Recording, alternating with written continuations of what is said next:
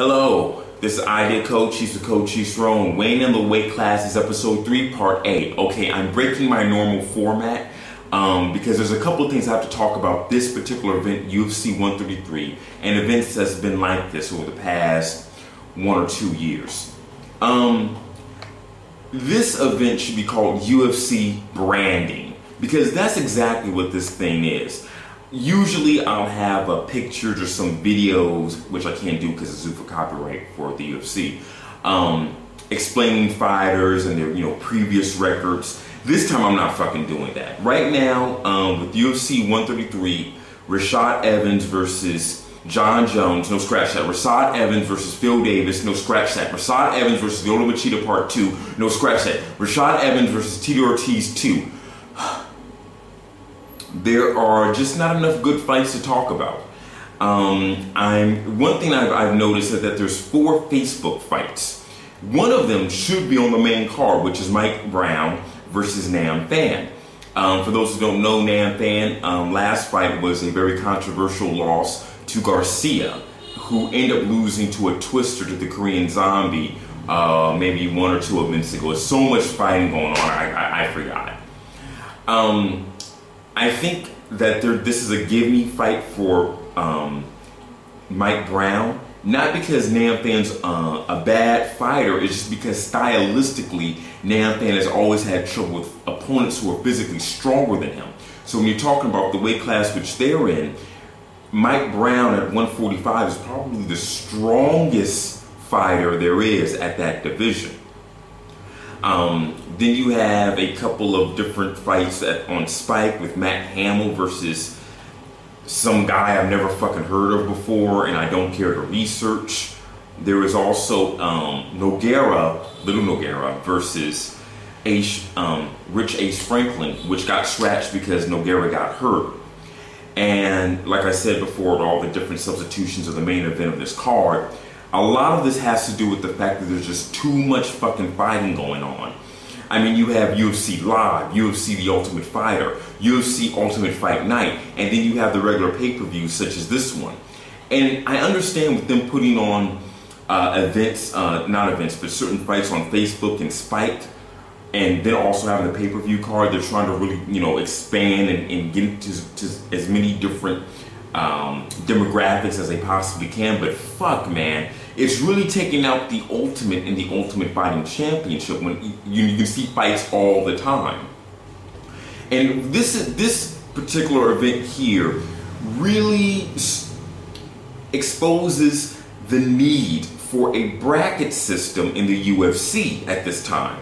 Um, ever since UFC, before UFC required Pride, and then and then did a complete merger with the WEC they was able to have certain willy-nilly booking styles of you know who's the most marketable fights that you can possibly put on. But with this many fighters going on um, and no one knowing exactly where they stand in the UFC outside of probably Dana White and uh, uh, the Fertitta brothers you need some sort of bracket system. So so then fighters know exactly where they're at and where they need to be and what they need to do to move up in the ranks. You know, a lot of times you hear someone like Dana White say, oh, you know, if Kenny Florian beats his next opponent, he has a title shot. What that ultimately ends up being is that it's either you're going to have someone fight a very conservative, boring fight style just to get the win, or they're going to get way too fucking nervous because they know if they lose, then they've lost their title shot. I think if you had a bracket system, it'll really make it clear as to um, as to who stands where, and also like with Lyoto Machida declining to fight Rashad Evans for the second time. If if Lyoto Machida knew if he had if he was one fight away from having a title shot, he probably would have taken the fight. But if he just knows that oh he's going to take the fight to help out the UFC, and then not know where he stands in the title contention, then really what's the fucking point? He has too much to lose.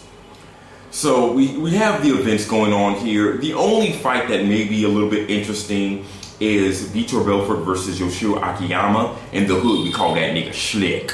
Um, Akiyama has lost like his last two or three fights. And all of his fights, however, he's won the fight of the night bonus. So I think that's why he's still on the main card, and they're also trying to branch off to the markets in Korea because he's a, he's a full blood Korean uh, and Japan. His fighting style is going to make this a pretty exciting fight. However, he likes to stay in the pocket, Akiyama I'm talking about, too much, and that's just too dangerous for Vitor. Um, if Vitor at 185 has been pretty consistent, I know he got knocked out by Anderson Silva. We've all seen the highlight reel knockout. But I think Vitor, um, with the guy who wants to stand in the pocket, who can't kick like Akiyama cannot kick, um, is going to be a lot of trouble for him. If if Akiyama can somehow get the you know clinch up, it may just prolong the inevitable where Akiyama might still lose, but it still be a very good fight. So uh, I see uh, Vitor Belfort getting this win. After that, um, there's a bunch of fighters I don't, I've never heard of, don't care about, and I don't care if someone is angry with me. A review of you of, of mixed martial arts, not knowing all these people's names. There's just too much fucking fighting going on. Let's get to the main event. Rashad Evans versus Tito Ortiz. Their last fight, which was a draw, um, was pretty much the equilibrium of their careers. Um, Rashad Evans going, you know, skyrocketing, knocking out Chuck Liddell in a very scary fashion.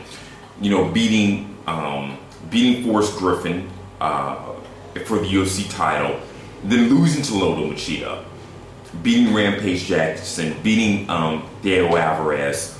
So he's been on the up and up ever since that fight. Tito Ortiz, however, has not um, has not been so well, and after the loss to um, Rashad Evans, Tito Ortiz fought Lyoto Machida, and that's when he looked really fucking slow. He really looked his age. I don't see, I don't see how Tito Ortiz is going to win this fight. Um, Rashad Evans is, I think, has a little bit too much submission defense, and Tito Ortiz does not punch hard enough. Ryan Bader, I know, yeah, you know, oh, he, he was a good, he's a good fighter. Yeah, he's a great fighter. The problem is he's one-dimensional. He's just a wrestler who had um, pretty good matchups up until the Jon Jones fight. So I was still surprised that Tito Ortiz won the fight. I thought Ryan Bader was going to win. Tito Ortiz pulled it out, so I'm, I'm happy for him. Either way, I don't think I have. I don't think Ortiz is fully aware of what he's walking into. Um, I think it's be similar to the Gilbert Melendez Tetsuya Kawajiri rematch that happened a, a few events ago in Strikeforce. Uh, like I said, and, and, like I said with the whole bracket thing, let me get back to this.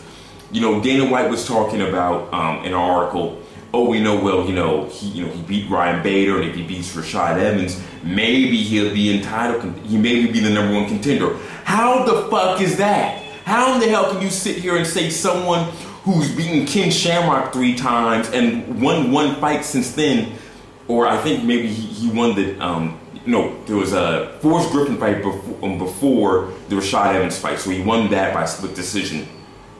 How the fuck can you justify him being the number one contender? If you had a bracket system, it wouldn't fucking happen.